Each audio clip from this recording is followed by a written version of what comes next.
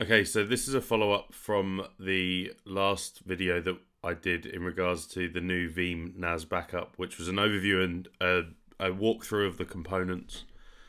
It was a bit of a long video, but I thought it was necessary to really touch on why and what those components were doing.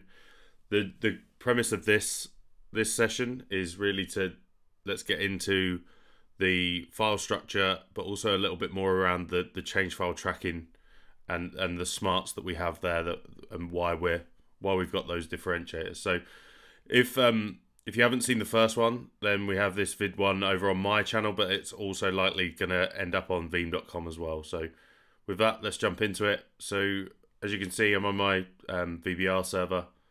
If I minimize this though, because we're going to spend most of this session actually over here in our, our repositories. And if you remember from the components, we've got a couple of um, new concepts when it comes to components that we're using. One is the cache repository, as well as the file proxy. We're not going to get into that too much on, on this one, but so the cache repository is where we're going to store those changes since the last backup. This is what's going to give us that that information so that we know what to what to compare it to so that we get that change file tracking. So under here you saw that I just navigated to this is just a simple repository, a disk repository that's as close to the production um, NAS source as possible. You can see that it just navigates to backups and this file backup cache. Now each one of my backups has a vcache. So as you can see here, I've got, what's that, eight of them. So if I jump into here and I jump into home, you're going to see, if I use this, another another little handy feature in here is that you've probably got around about eight in there that, that we're using. Um, these are you can't open. Well, if you try and open these, then you're not going to get very much or very far from it. It's pretty much just uh,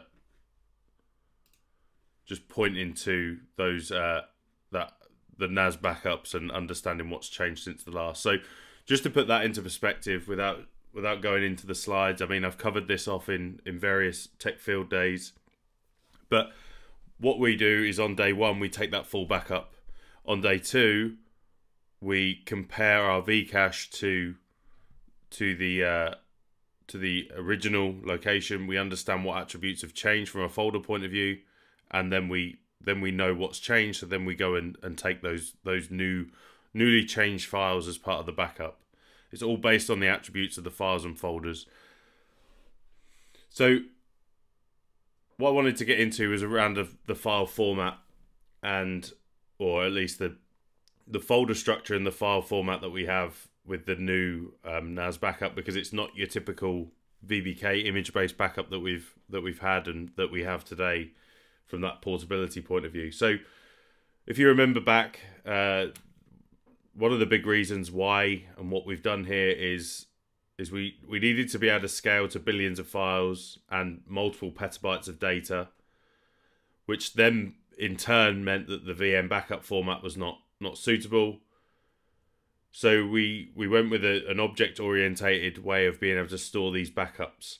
So first of all, you're going to see uh, a the first file type, or you're going to see one file type that we show is called a .vblob, and expect this to see is tons of 64 meg chunks or blobs on disk, and I'll show you that with some of the scaled or the larger backups that I have. And then we also needed to make sure that there was no performance degradation due to fragmentation because of in, any larger chunks. So that 64 meg was a was a conscious decision for us to for, for us to do that. So with that, if we jump back into our PC because I've just got a local short-term retention here and you're going to see right I've got a folder that's called this is where we're going to keep those VBKs right this is where the traditional Veeam backup stored. So we don't want to get into that, but what we do want to get into is these. So with that in mind, if we just take this large, uh, large file count, so there's millions of files being backed up here, and we drill down into that first layer and just expand this. So the first thing we're going to see here is the .vstore. Now this is an XML meta file, and that describes that whole backup file, and, and each and every one of these are all going to have that vstore. So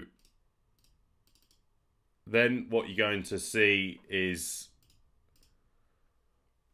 within there you've got a GUID, a GUI, um, and in other jobs you're going to see multiple ones of those, and you're also going to see the archive as a pointer to what files have been sent up into the archive uh, the archive repository or the archive tier. So the longer term re retention. In my case, if this backup is being sent to object storage. So let's just talk about that. Is that so? The per source um, folder. So the GUID is going to contain all of the the individual um, all the data for that single source, and then that vstore that you see in there that we've that we've already mentioned is that's that XML um, file that we that we just touched on. If we go into that GUID, and I'm just going to try and make this as clear as possible because it's not very clear to follow as such. Um, you're going to see the data folder, which is with that's where the uh, binary data is going to be kept, and you, then you're going to see the, the, a folder with with the binary metadata that's kept. You're also going to see so if I just expand this, you're then going to see another vSource. Now this vSource is another XML metadata that describes the single source of the object. So if we then jump back, or in fact, let's go into the metadata first, because while we're down here. So this is where we're going to see the the breakdown of, of index files and um, those those um, slices of, of data that, that we've mentioned. So the uh, the metadata describes the allocations in the blobs. The blobs I'll get to um, as we as we go into the data folder, but and then you've got the um, so sorry the v slice for simplicity. The v slice is there. It's binary meta that describes the allocation in those blobs and then you've got the v-index which is what's just going to describe the files. So the names and the versions of the files that you're backing up. And you see a, a, a varied um, amount in here. So then if we jump back one and we go into the data this is where you're going to see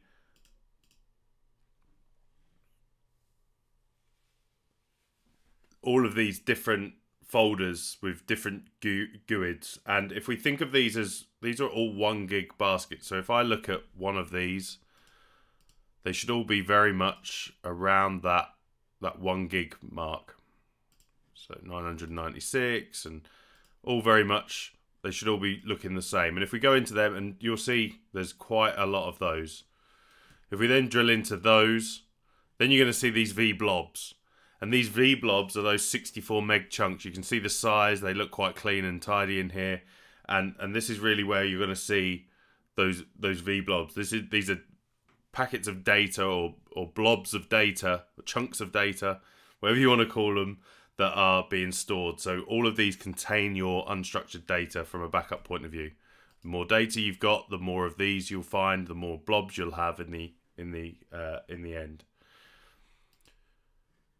So if we look in here as well, you'll then start to see pretty much the same. But so we've still got the. So you saw that I went into the archive. We've got this um, GUID again. If we jump in there, you've got the the meta, which is the v index and the v slices.